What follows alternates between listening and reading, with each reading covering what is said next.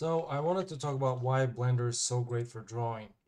So uh, Blender's drawing mode is called Grease Pencil. And the reason why I think Grease Pencil is so great for drawing is uh, this stuff right here, the sculpt mode.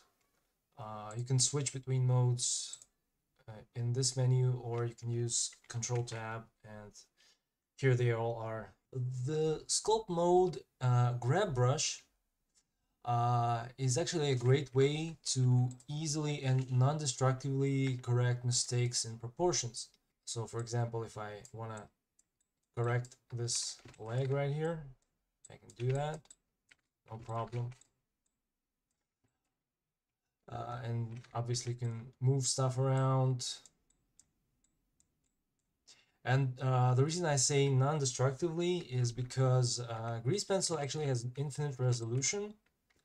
And this is very important because uh, when you're moving this stuff using uh, sculpt mode, you're not getting the smudged lines and artifacts that you can get uh, when doing similar things in other apps. I've used many painting and drawing apps over the years, and this is genuinely the best way for me to draw while also being able to correct mistakes on the fly without having to, uh, you know, redraw everything. And the cherry on the top here is that uh, the sculpt mode actually has uh, other useful brushes as well. For example, this thickness brush is one I find myself using quite often. It allows you to edit the stroke thickness on the fly, so you can get interesting cool uh, effects like this one.